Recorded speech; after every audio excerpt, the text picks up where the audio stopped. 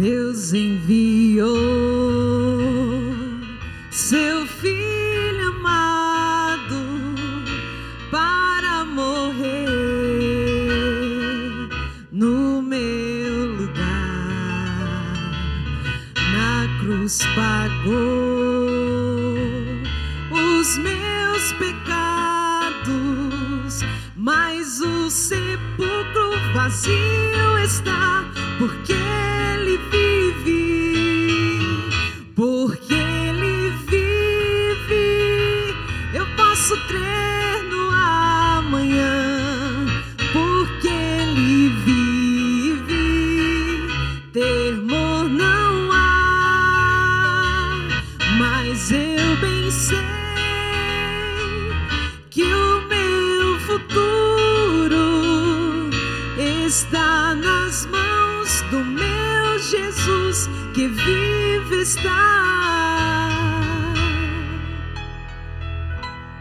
E bom dia para você que nos acompanha por todo o sistema Canção Nova de Comunicação. É o amor vencerá. Que o amor neste dia possa vencer na minha vida e na sua vida. Acolho também você que nos acompanha pelas madrugadas, muitas pessoas que nós vamos encontrando aqui na chácara de Santa Cruz fala. Eu acompanho vocês também na madrugada, então nós acolhemos você neste dia, quarta-feira, dia da Divina Providência. Sou Rosinalva Santa Rosa, missionária da comunidade Canção Nova, e hoje estou aqui apresentando o Amor Vencerá, porque a obra de Deus, ela não para nunca, e precisamos sempre estar com este coração disponível para onde Deus nos chamar. E acolho também o povo de Deus aqui na Canção Nova. Sejam bem-vindos. A salva de palmas para vocês, para aqueles que nos acompanham também pelo sistema Canção Nova de Comunicação.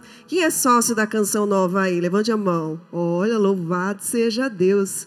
Bendito seja Deus pela sua vida, viu? Você que nos sustenta, não somente financeiramente, mas espiritualmente. Muito obrigada. Deus abençoe nós, missionários da Canção Nova, nos comprometemos a todos os dias colocar o sócio Canção Nova nas nossas orações, porque a palavra de Deus chega até os quatro cantos deste mundo, porque o sócio Canção Nova contribui com esta obra de Deus, não é mesmo, Padre Wagner Bahia? Que bom, quero acolher você também que está aqui.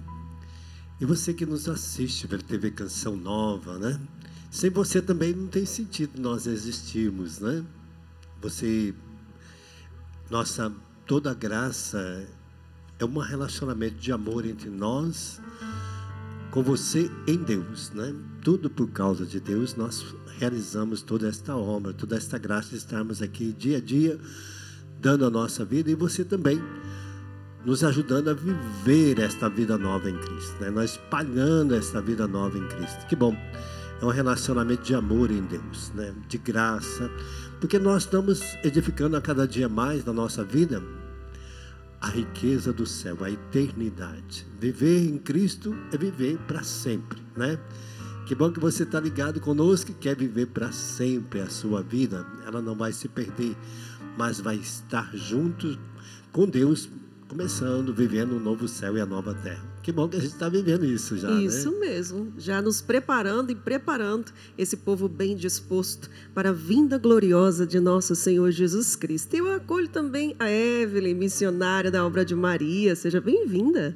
Eu que agradeço, é uma alegria imensa estar com esse povo de Deus para juntos rezarmos, nos abastecermos desse Espírito que nos consola, que nos fortalece e que nos reanima na nossa caminhada. Amém. Bom dia, sapo. Oh, maravilha, fui surpreendido hoje com a sua presença, viu? Ficou surpreso, né? Mas uma surpresa boa, né? Surpresa boa. É isso aí, daqui a pouco, palavra de Deus chegando até a sua casa. E aquilo que eu prometi, eu prometi aqui que eu ia fazer um vídeo, uma aula de como fazer um fundo musical durante as pregações. Eu avisei ontem, teve uns problemas operacionais, então a semana que vem já estará gravado disponível no meu Instagram.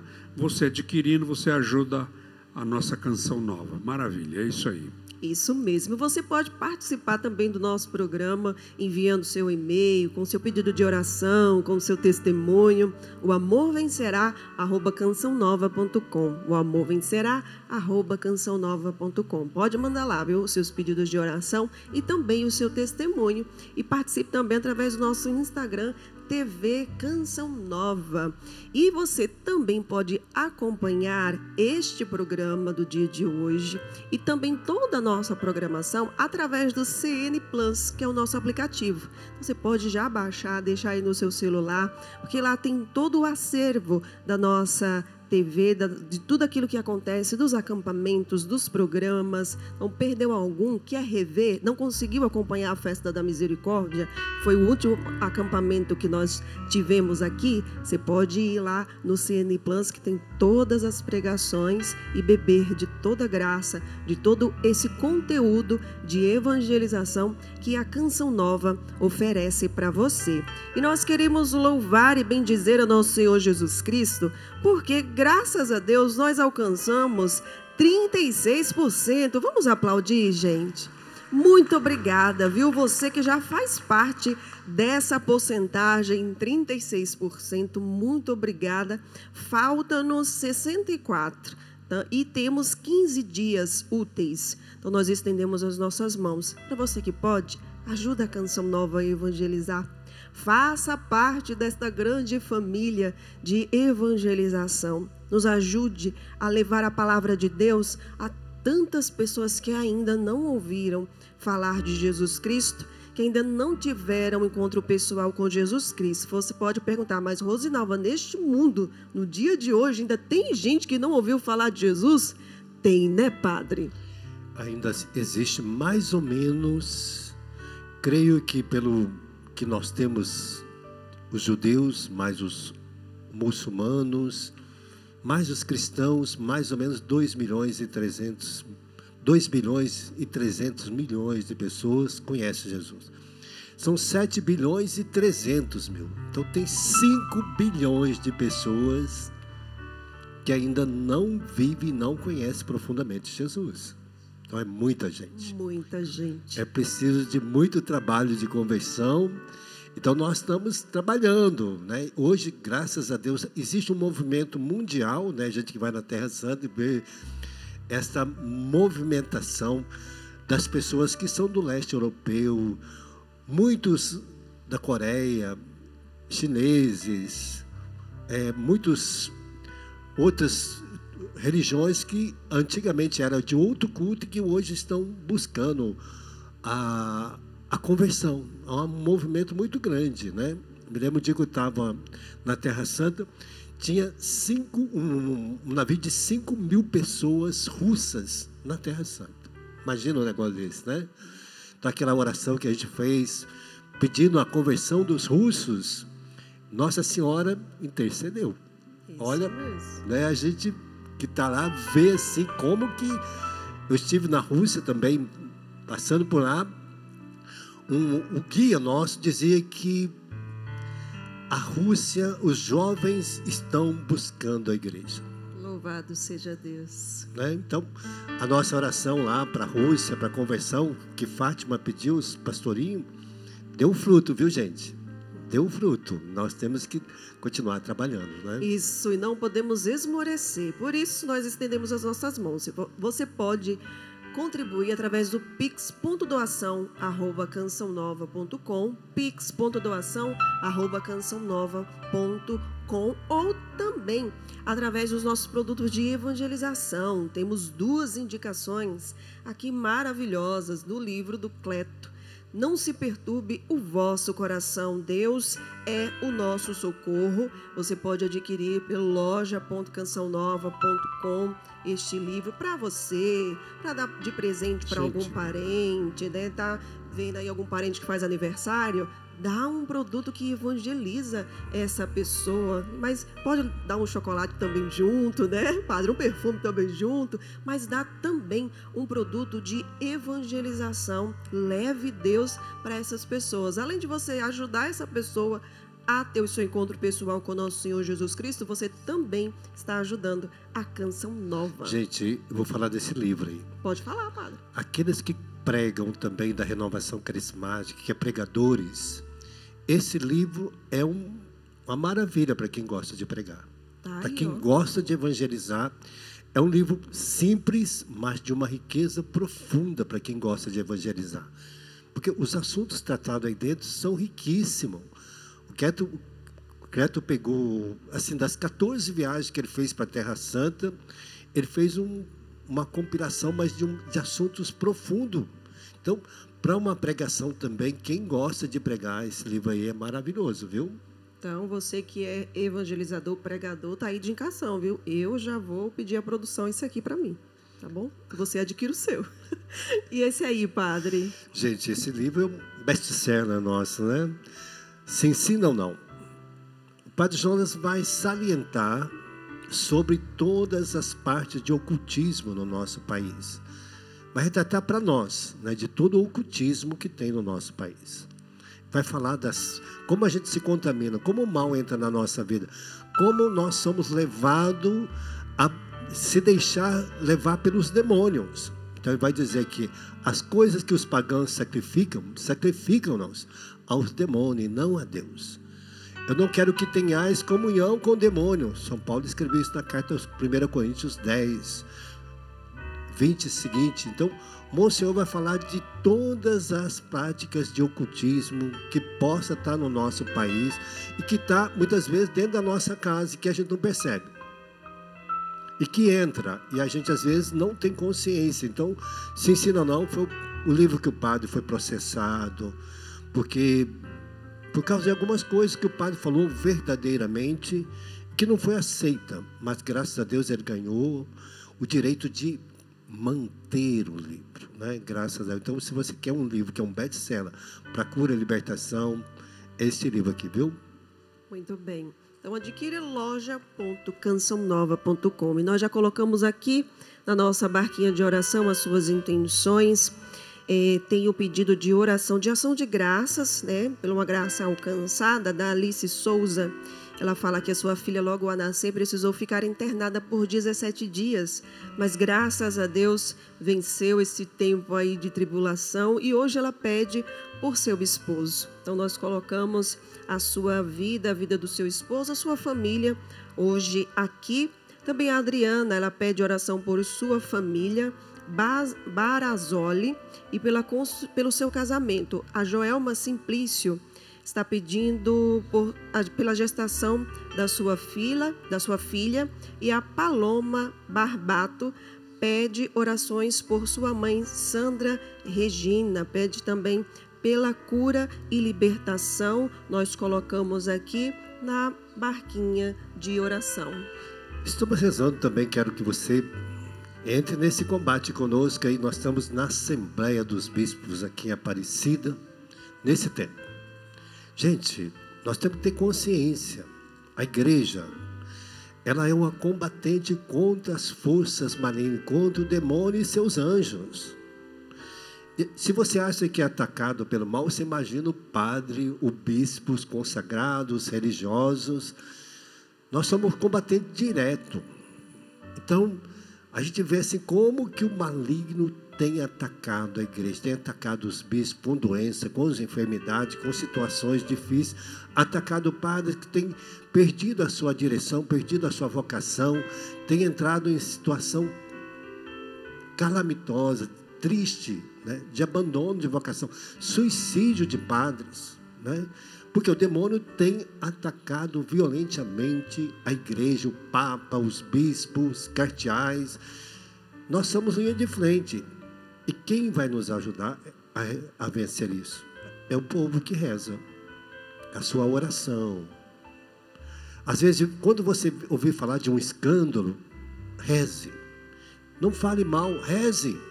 Porque aquele homem está sendo atacado pelo mal. E ele não resistiu. Se Pedro não resistiu ao ataque, se Judas, que era apóstolo, não resistiu ao ataque maligno, o demônio entrou no seu coração. Ele pregava, curava, fazia milagre, fazia prodígio, expulsava demônio. Então imagina quanto que nós temos que rezar. Em vez de, às vezes, reclamar, então, está em assembleia dos bispos. Quero rezar também pelo. O Juliano pede pelo seu filho, Davi, de seis meses, que está com pneumonia, infecção no ouvido, né? Rezando por ele. Rezando também pelo seu Manuel Cardoso de Souza, que completa um ano hoje de vida, pela sua saúde, está recuperando de um grave AVC, né? Uma doença que tem atacado muitas pessoas também, né? Também rezando por toda a Canção Nova, todo o projeto da M Almas, aqueles que pediram as nossas orações, né? tem muita gente que Muita pediu gente. oração para mim, para Rosinalva, para você, né? Quantas pessoas têm pedido? Sapo, né? Reza para mim. e o sapo manda para mim. Tá bom. Isso mesmo. Então, Então nós colocamos todos esses pedidos pelos desempregados também, pelas almas do purgatório, todas as pessoas que nesse momento nos acompanham e vai colocando ali ó, já os seus pedidos de oração, nós apresentamos, nos colocamos na brecha aqui, ó, na intercessão, intercedendo por você. Então vamos preparar agora o nosso coração para a palavra de Deus. Porque Ele vive, nós acreditamos que Ele está no meio de nós. Convido até mesmo você que está aqui a ficar de pé. Não por coincidência, mas por providência, Deus te escolheu a estar aqui. Te escolheu a estar assistindo, independente da hora. Coloque a mão sobre o seu coração e vamos cantar, dizendo ao Senhor que nós abrimos o nosso coração para que Ele faça, para que Ele adentre no mais íntimo agora da nossa alma. Eu abro as portas do meu coração, te dou livre acesso, Senhor. Eu abro as portas do meu coração, te dou livre acesso. Eu abro, eu abro as portas do meu coração, te dou livre acesso, Senhor. Eu abro as portas do meu coração, te dou livre acesso. Pois com teu braço forte realizas prodígios pois com teu braço forte, Senhor, me ergues do chão,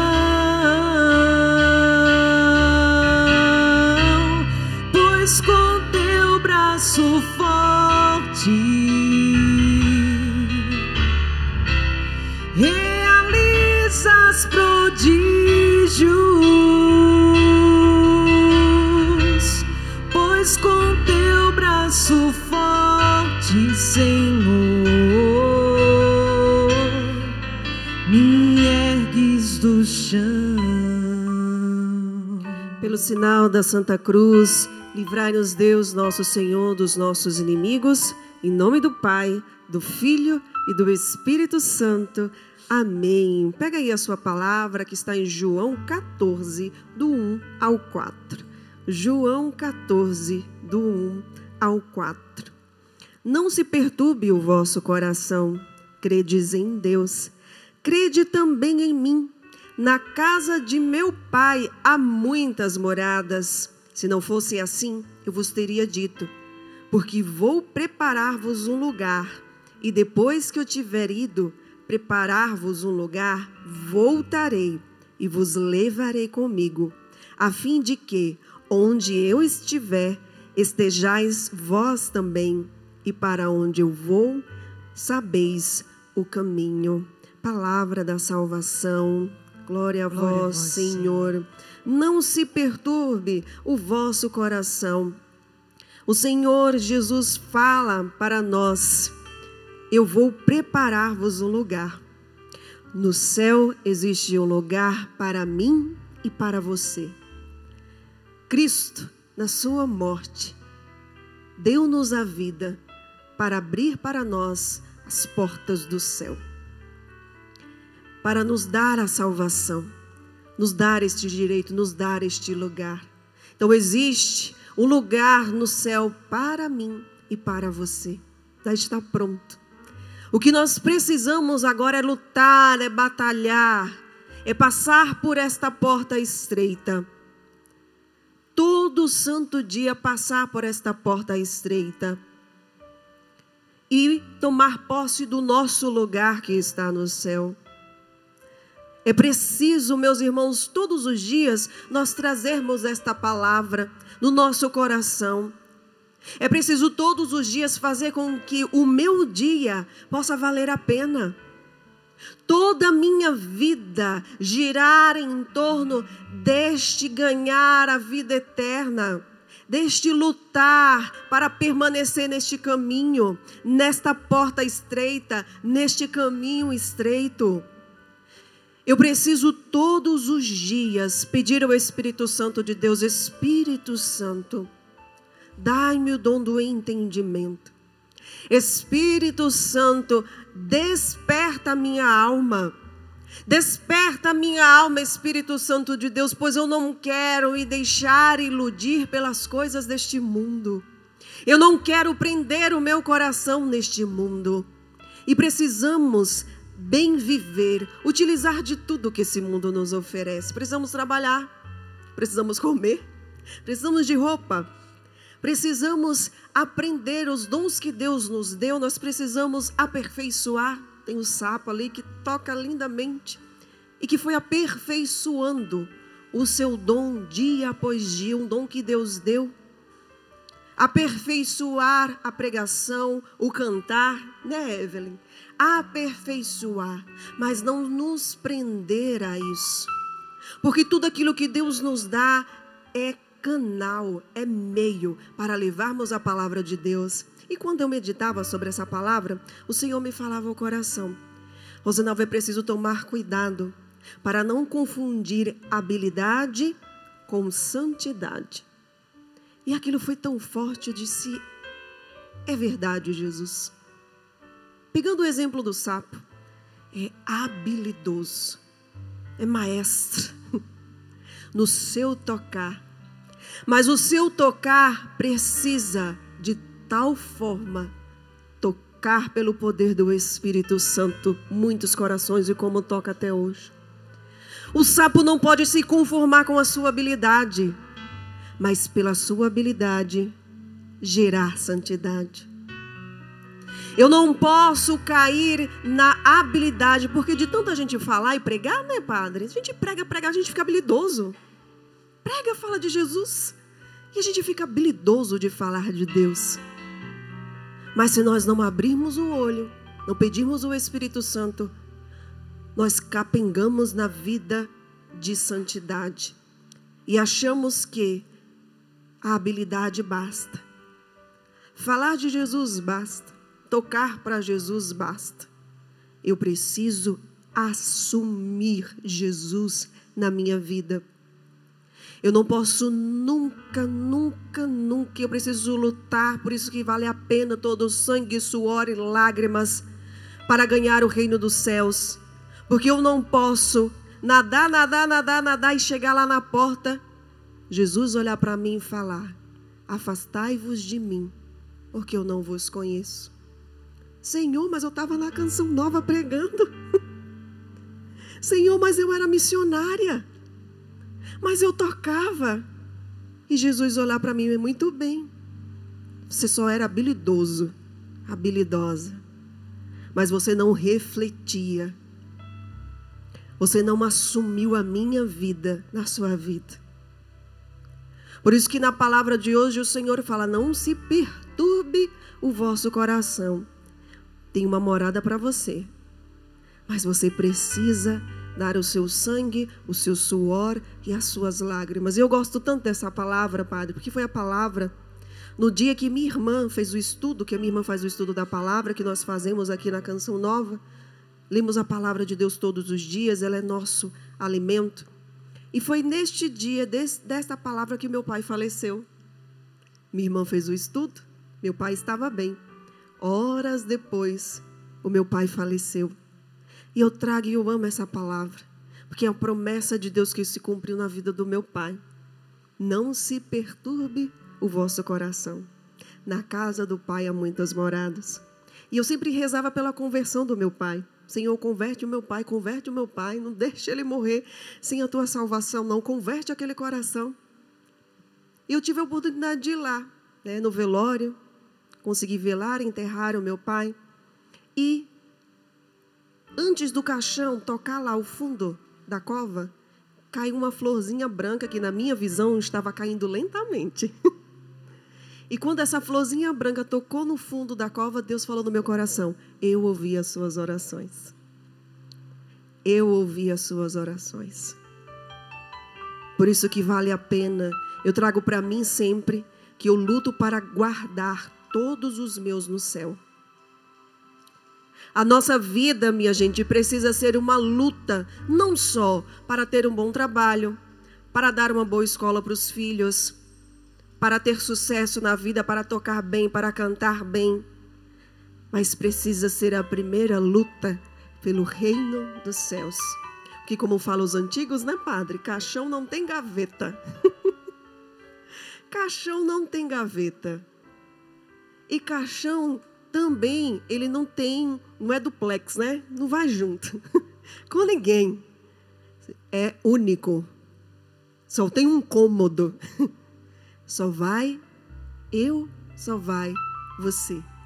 E essa palavra que Deus nos dá não é para temorizar o nosso coração, pelo contrário, é para abrir os nossos olhos. Abrir os nossos olhos e falar: aqui tudo vai passar, então por isso que eu tenho que fazer com que a minha vida ela possa faz, valer a pena. Dar o que meus filhos, minha casa, minha família têm de direito aqui na terra, mas o que a sua filha, a sua família, a sua casa também, ela tem direito da vida eterna. Será que você, mãe, você, pai, está levando esta consciência da vida eterna para a sua casa, para os seus? Tantos pais que desejam, nossa, eu quero que meu filho seja médico, seja advogado, que bom. Tem condições, vai lá e luta. Mas raramente a gente ouve, né, padre? Eu quero que o meu filho seja santo. Quero que a minha filha seja santa. O que eu almejo, o que eu sonho é o meu na eternidade, os meus na eternidade.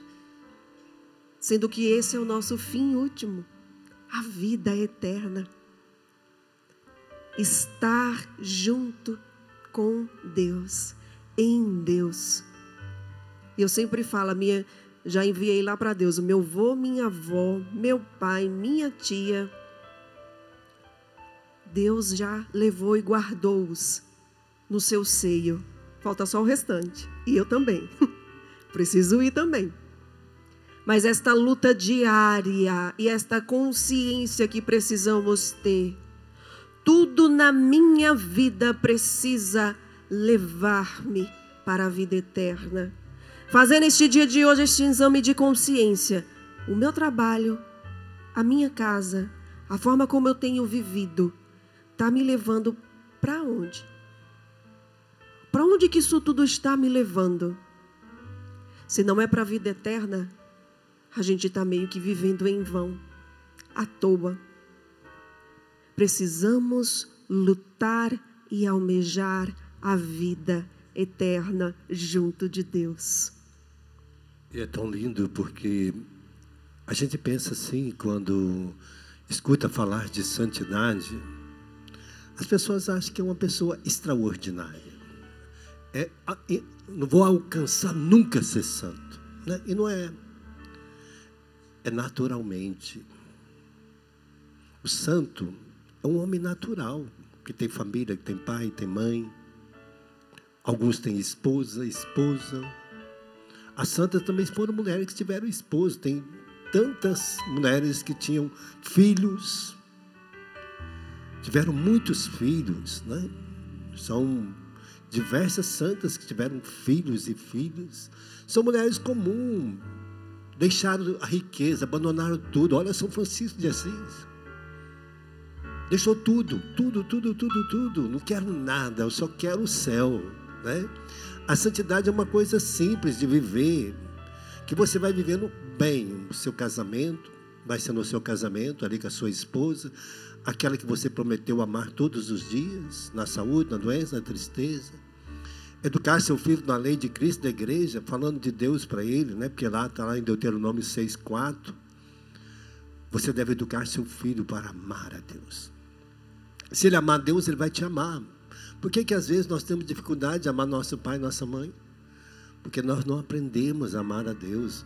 E Deus é amor, e esse amor está em Deus. E se você não tem Deus no coração, você não consegue amar.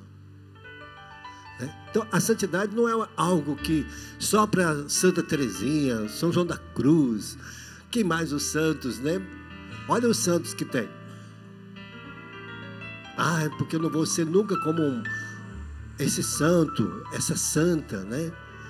Não vou alcançar como João Paulo II, esses homens que. Não. Você vai alcançar lá na sua casa mesmo, dentro da sua casa.